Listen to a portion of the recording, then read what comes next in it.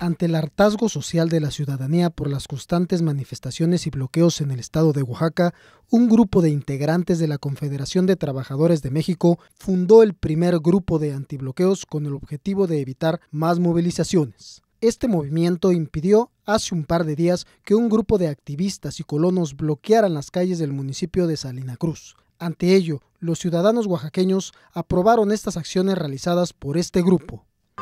Está muy bien, digo, ¿Consideras los... una muy buena opción?